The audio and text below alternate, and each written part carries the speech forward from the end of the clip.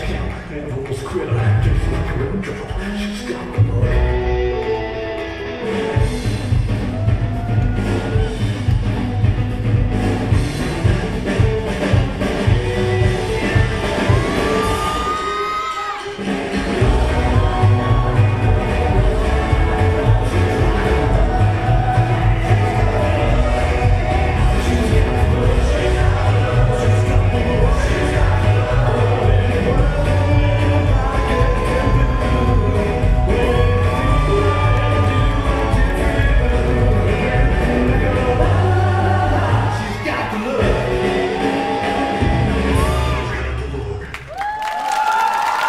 Nicole Seneca, Israel.